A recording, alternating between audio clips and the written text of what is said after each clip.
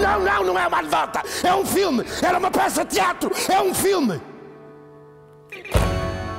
Fazem sempre aquelas perguntas banais nas nossas áreas. Gosta mais de fazer teatro ou de fazer televisão? Toda a gente faz essa pergunta. Quem nos diz que não é assim?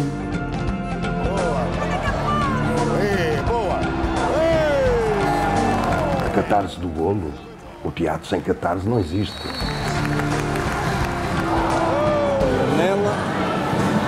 Viena, Tóquio, Amsterdão, Sevilha, Gelsenkirchen, Yokohama e Dublin. Nela há Porto e nela se resumem os quatro pilares que fazem do seu clube um caso único. Gosto de futebol, mas não sou doente, não. não. Quer dizer, gosto que o Porto ganhe, mas não, não, não, não, não sou propriamente muito doente. Estavam mortos. Aquilo era a morte. Já me aconteceu às vezes sair à rua porque Porto é campeão e as pessoas olharem para mim e pensarem que eu sou de Lisboa.